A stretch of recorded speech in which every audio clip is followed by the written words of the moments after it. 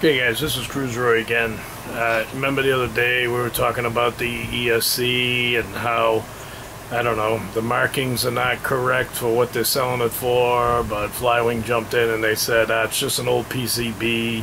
We continue using it and updating it, so that's why it's labeled that way. So if anybody has one, I'd like to see the label.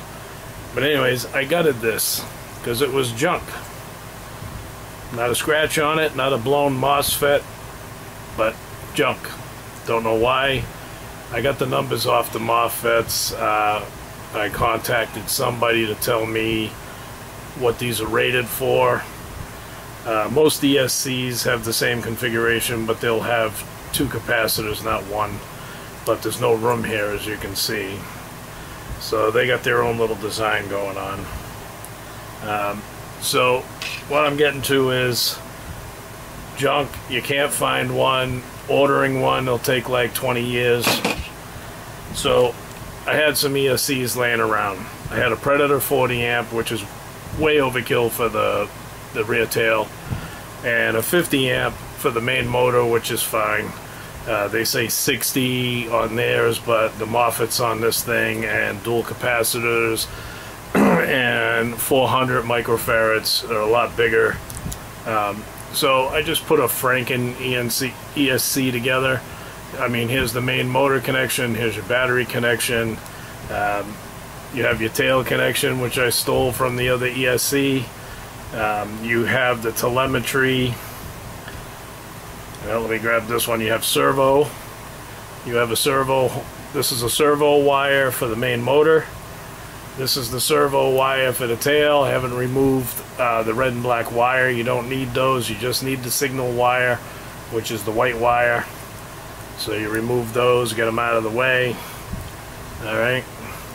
That's how it works. Your telemetry wire. This goes directly to the battery side. It just keeps track of um, the power going to, you know, the unit itself here and the H1, you know. Um, so, just so you can get a good look at it, a 40 for the tail, 50 for the main motor. I stole the connector off the motor and the motor, I mean the old ESC, old ESC, all this stuff comes off the old ESC except for the servo wires, they were pot. But if you do do this, you need some soldering skills and I would put them together. They're pretty thin. I mean, if you can get a 60 and a 20, you're good. A 50 and a 20 would be perfect. And it's just the right size. You know what I mean? It almost matches what they have. But you got two separate ESCs. I got them taped together. Uh, you don't have to do that. Uh, I seen somebody else put the second ESC towards the tail so your wires weren't messed up but I wanted to keep it all under the canopy but and like I said if you do this you got to remember the tail servo wire, you got to take the red and black out of it. You don't need power. And, you know, I was told that the H1, when you use the H1, I had to get a special BEC to run it because it was saying 7.4 volts up to run everything from the H1. Now, funny thing is, if you look at your ESC from Flywing, it says 5 amp, 5 BEC. That's what this 50 amp produces. The same thing, 5 and 5 on the UBEC. So this type of thing, get up if you wanted to, uh, and these are cheap. If you want to buy these from China, it's like 10 bucks for this one and 19 for that one. And uh, if you find a place close by, you can get them for about the same price. So they're both helicopter uh, ESCs, just one smaller amps. But if you, this one here can run a six cell, but this one cannot. It's hard to find a smaller six cell um, compatible ESC, you know. So, but let's just give it a whirl here, just so I can show you. First, I'm going to plug in the telemetry on the battery side. All right. This, of course, is the tail wire. Let me get the two servo wires. Like I said, the main motor one has three wires. That's your ESC. Ground wire facing upward. tail wire ground is up or signal wire all the way down.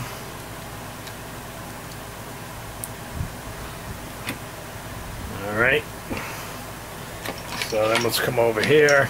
Make sure there's a lot of tension off of here. I'm going to plug in the tail.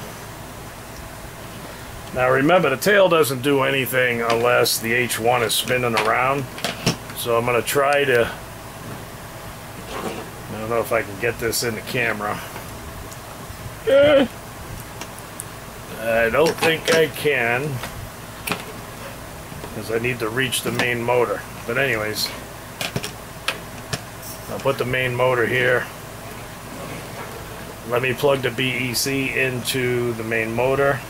I reused the uh, connectors so it just connects right in. Alright.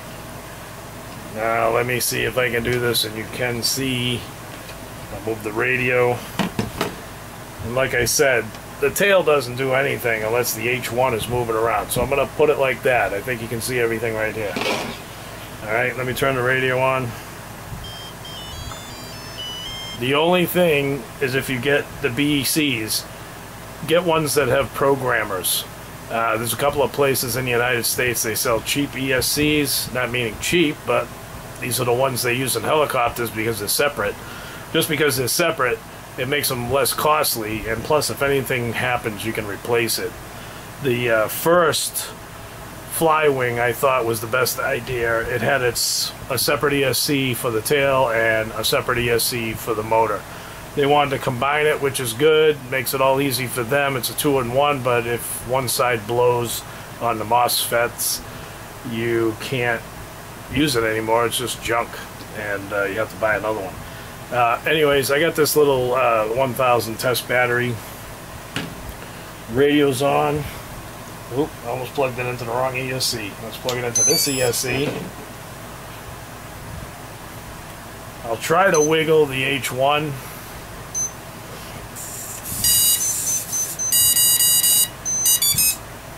Alright, what I'm going to try to do is wiggle the heli. You'll see the tail come on. Alright, now the only way to do this is to go into 3D. Let's go to 3D first. And I can show you everything works. Forward, backwards, left, right, collective, rudder, alright? And when you're in 3D, you can test the tail. But like I said, some people think something's wrong because the tail don't fire up. But um, let's get the blinking light, blue blinking light. While it's blinking, I'm going to hit it, show you the motor spins. Oh, what I was talking about on the BEC, uh, the ESCs. If you get a 50 or 60 amp, you get a program card, and you can program soft start into it. This one doesn't have soft start, so you're going to see this thing come on wicked fast, alright? But I can program that down to soft start or just leave it the way it is. Because the thing with the H1, it's running off a steady RPM there's no changes in the RPM. When you go up and down, when you go up and down, you're using the same head speed. All it's doing is changing the pitch. You know, especially in, in you know, but if you go into direct 3D mode, now you can control the throttle as well. But when you're doing your stunts, you know, I mean, your um, just regular GPS mode, you don't need that. But anyways, back to this. Get the blinking light. I'm going to turn the switch on. I just want to hold the tail.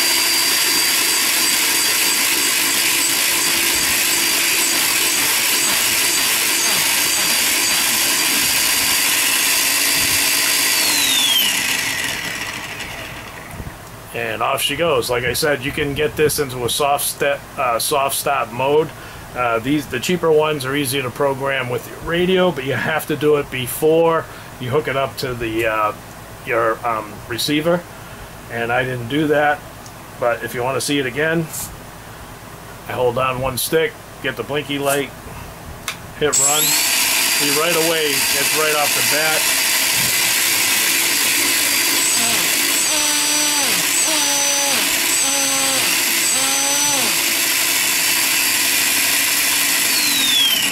pretty funny how that works on the tail but but anyways this is Cruz Cruzroy talking about a Frankenstein ESC you can make one yourself if you got a little uh, a little bit of soldering skills. And if you have a burnt out Flywing, it works out mint because you can steal all the parts from it, the extra wires, all that stuff, solder it on. I have both of these connected into the same connector, and the power lead comes off into the uh, the Flywing. I mean the H1. Alrighty.